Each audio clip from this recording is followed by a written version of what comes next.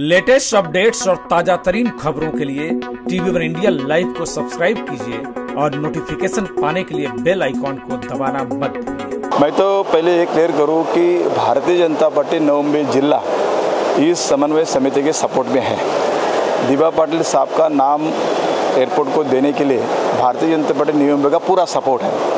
और हम लोग कल ये मानवीय साखली में पूरी तरह उतरेंगे, ताकत के साथ उतरेंगे। 24 तारीख को जो हमने सड़कों के ऊपर मोर्चा रखा है, उसमें उसमें भी भारतीय जनता पार्टी का हर कार्यकर्ता हर ताकत से उतरेगा। ये मैं पहली बात तो क्लियर करना चाहता हूँ। आज इस नवम्बे के क्षेत्र में नवम्बे हो, थाने हो, पालघर हो उरन हो, पनवेल हो, रायगढ़ में लगभग पूरा डिस्ट्रिक्ट हो, ये पूरे डिस्ट्रिक्ट को जिन्होंने सवारा, जिन्होंने उनको न्याय दिया, ऐसे दिवा पाटिल साहब का ही नाम अंतर्राष्ट्रीय विमानतल को होना चाहिए।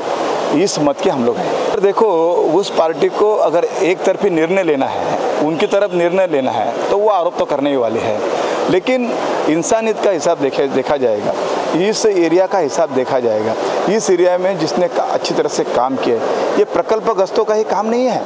और न्यू बॉम्बे में प्रकल्प गस्त अग्री कोली 62 परसेंट है शायद।